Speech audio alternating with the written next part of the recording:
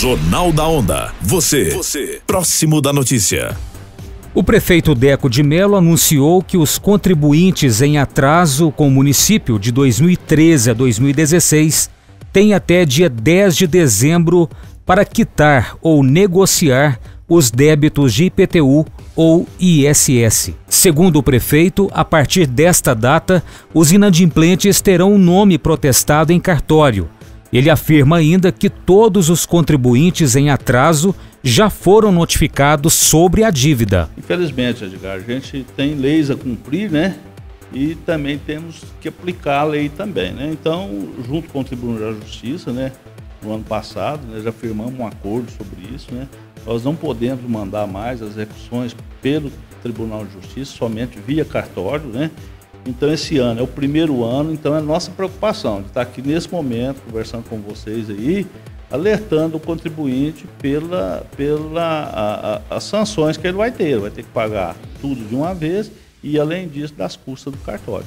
Cerca de 300 pessoas estão com o IPTU atrasado em Piuí e outras 100 com o ISS. O advogado da prefeitura, Davi Cornélio Cândido, disse que o município é obrigado a tomar esse tipo de medida. O município ele, ele não pode deixar o débito tributário municipal é, prescrever. Ele tem que tomar medidas cabíveis, legais, para poder estar tá recebendo esse título, ainda que, que a posteriori. Né? Sempre atento é, à prescrição, justamente porque é, o título prescrevendo, o município ele pode sim incorrer em várias sanções administrativas, até mesmo judiciais, pela renúncia de receita.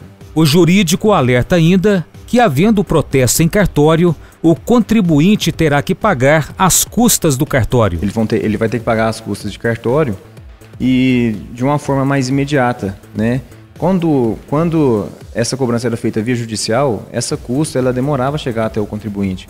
Muitas vezes ele pagava o débito junto ao município, o município comunica ao judiciário o pagamento e depois de, de algum tempo é levantado o valor de custas e o município ainda é citado a pagar essas custas judiciais. Essa cobrança sendo feita via cartório é tudo muito imediato. O, o município ele vai ter um prazo é, menor para estar tá procurando o cartório para proceder o, o, o, pagamento e no pagamento ele já vai, né, ele vai ter, ele vai ser compelido a pagar essas custas de cartório. De acordo com o prefeito Deco, o município tem cerca de 2 milhões de reais a receber. É, a gente está calculando ainda, não fizemos aí exatamente, mas é, é, aproximadamente 1 milhão e 800 mil. O ISS já vai girar em torno mais ou menos de 200 mil reais, que é bem menos, né? E, e, e é, é, mais aí com prestação de serviço, as coisas. Até segunda-feira, dia 10 de dezembro, o contribuinte pode negociar sua dívida pedindo parcelamento.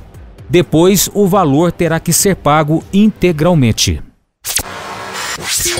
Participe do jornalismo da Odoeste FM, mandando sua sugestão, flagrante, foto ou vídeo para o departamento de jornalismo pelo WhatsApp, WhatsApp 37 9816 1003.